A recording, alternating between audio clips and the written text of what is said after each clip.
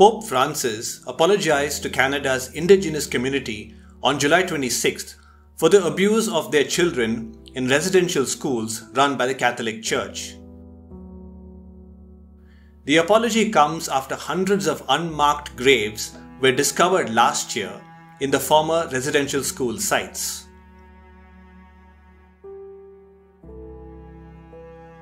Between 1883 and 1996, an estimated 150,000 native children in Canada were forced to attend state funded Christian schools in an effort to assimilate them into the European way of life.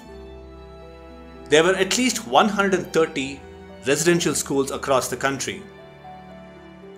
The Canadian government has admitted that physical and sexual abuse were rampant at the schools, with students beaten for speaking in their native languages. Many of these children never reunited with their families.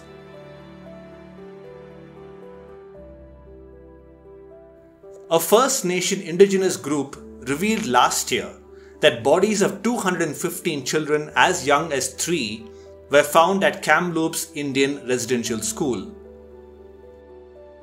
Till September last year, more than 1,300 unmarked graves were discovered on grounds where these church run schools once stood.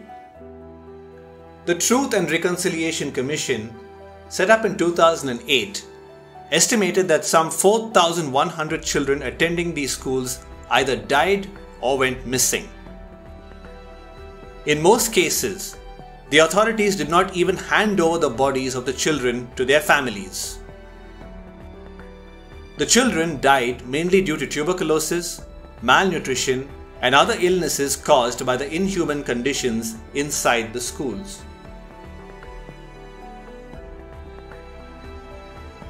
In his first public remarks in Canada, Pope Francis asked Indigenous residential school survivors for forgiveness.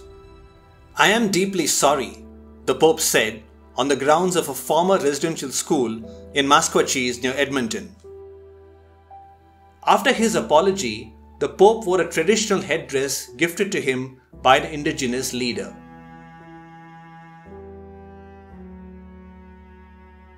In 2008, Prime Minister Stephen Harper issued the first formal apology by the government to the indigenous community.